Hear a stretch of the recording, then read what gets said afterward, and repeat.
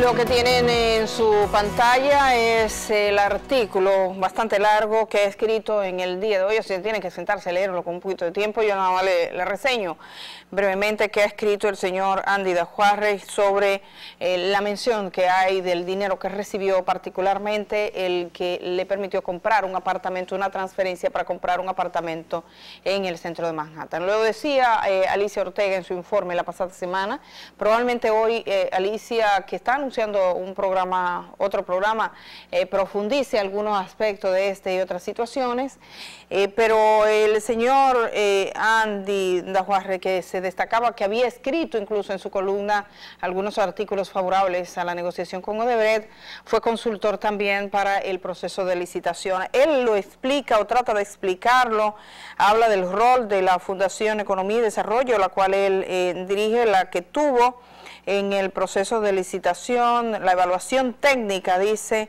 eh, donde eh, valoraban la oferta económica. Eh, él valora que otras evaluadoras, otras entidades, incluso le dieron más puntos que él y que eso de modo alguno le comprometía. También habla de que en enero del 2014, dos meses después de que concluyó la licitación para Punta Catalina, ejecutivos de Odebrecht le solicitaron la prestación de servicios de consultoría financiera, dice él, con el objetivo de presentar una serie de opciones y alternativas que permitiesen reestructurar la propuesta original de financiamiento que habían presentado antes de la licitación.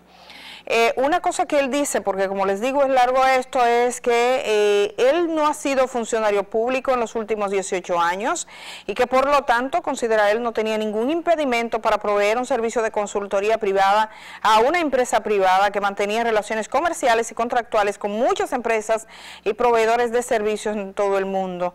Dice que fue un honor y un privilegio prestar servicio de consultoría a Odebrecht en aquel momento la empresa global de ingeniería de construcción más grande y prestigiosa de Latinoamérica, con 168 mil empleados. Lo que sí no queda claro, y, es el problema que se está planteando aquí, y quisiera preguntarle a Giovanni Vicente, es el tema de que Odebrecht lo contrataba, es una consultoría, dice, pero el pago se hacía a través de una unidad que Odebrecht dice era para sobornos. Ese es el problema, lo contamina la misma Odebrecht cuando dice, todos los pagos que se hicieron por esta, por este método de contabilidad en un libro aparte, es un pago de soborno. Son ellos que le dan esa calificación. Es un problema serio. Sin dudas, es un problema muy serio. Y la realidad es que todo este proceso con Odebrecht nació contaminado desde un principio.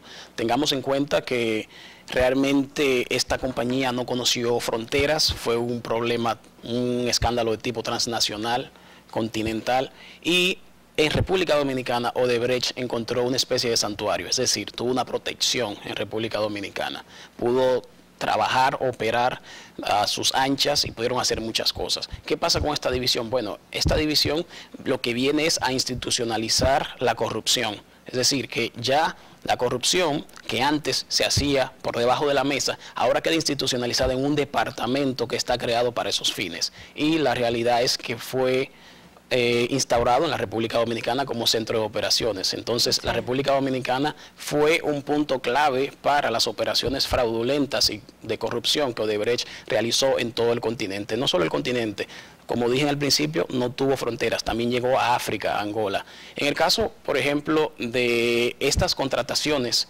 eh, te podría decir que en cuanto al a Jaime Ariste Escuder sabemos que hubo un conflicto de interés bastante fuerte porque él primero compone, conforma una comisión de investigación y luego termina siendo administrador de la planta Catalina. Es decir, si estamos hablando que la planta Punta Catalina fue parte de este proceso de corrupción, sería el, el cuerpo del delito y él termina administrándolo. Entonces ahí es un tema de conflicto de interés y de moral.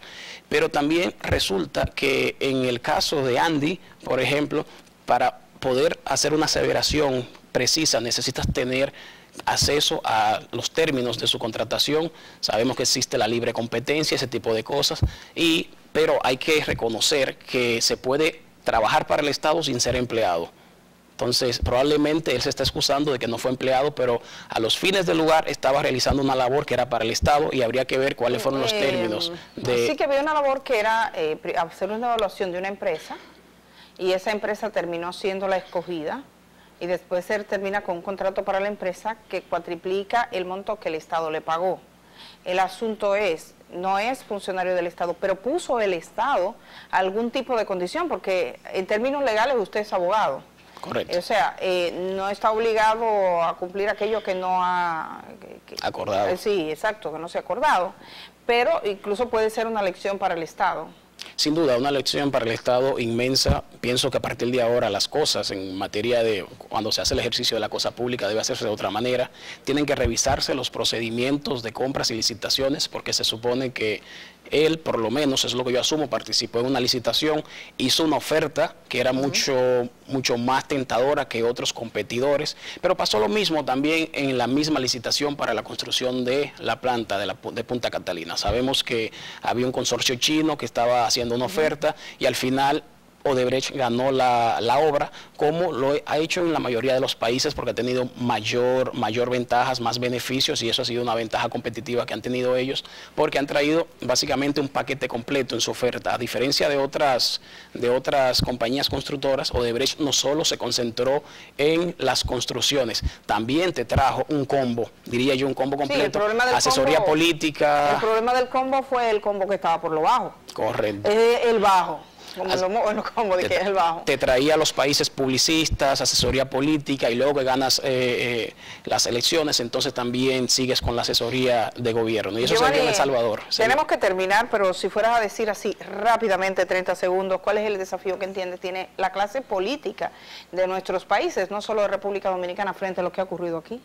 El gran desafío que tiene la clase política, y no solo la clase política, pienso que también la ciudadanía, es lograr las reformas correctas, pero más que eso, lograr los pasos que son necesarios para que se pueda traducir esto en voluntad política. No vemos que ha habido honestidad desde la compañía, no hemos visto honestidad desde el gobierno. Es decir, las informaciones que se han dado y las que se han filtrado ahora mismo vienen a demostrar que la compañía y el gobierno probablemente no fueron lo suficientemente honestos. Este es un problema grande que, del cual se va a seguir hablando por mucho tiempo y esto es probablemente solo la punta del iceberg y lo que yo podría decir en esto es que algo que es irónico es que un presidente, y casualmente tiene que ver, tiene que ver también con este proceso, Lula da Silva, está preso por un apartamento precisamente. Sin apartamento que, y mucho menos en términos económicos. Gracias eh, por estar esta mañana. Gracias a Gracias a ustedes. de Transparencia Internacional de Perú, Giovanni Vicente Romero. También decirles, teníamos ahí la imagen de la carta que ha difundido esta mañana el señor José Manuel Guzmán Ibarra, quien laboraba como viceadministrador del Banco de Reservas. Ha presentado renuncia a su cargo luego de la mención de su nombre en estos asuntos. Y por supuesto, mañana tenemos un programa muy interesante sobre este mismo tema. Yo les pido que no se lo pierdan mañana. Mañana tenemos una sorpresa. Así que aquí nos vemos cuando sean las 11 de la mañana y compartan este contenido. Gracias.